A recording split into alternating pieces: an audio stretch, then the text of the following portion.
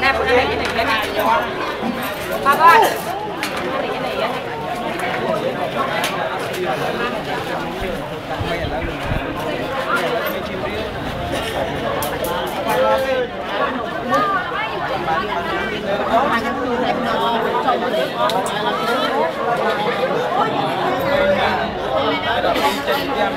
hấp dẫn